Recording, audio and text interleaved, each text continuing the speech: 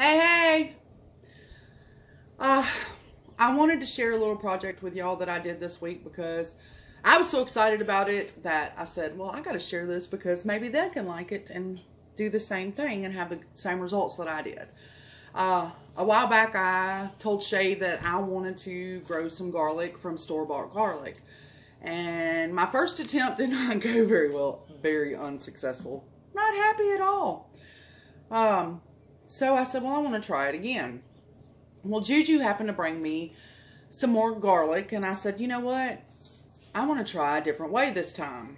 So what I did was, is I took the garlic and I soaked it in water for about an hour to make it easier to peel and everything and separate. So I separated it into cloves separated it into separate little cloves, and I took an old ice tray and I put the cloves in the ice tray all around and I filled it about each one about halfway full of water.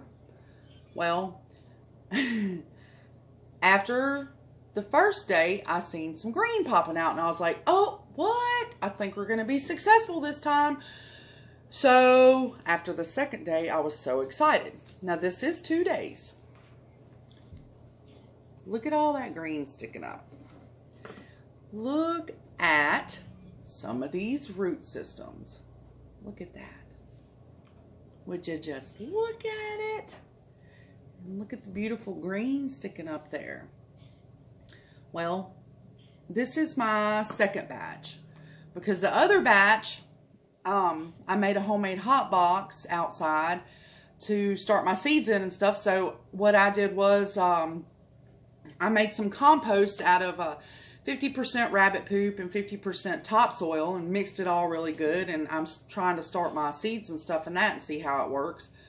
And uh, I did that. So this is my results after just one week. Look at that.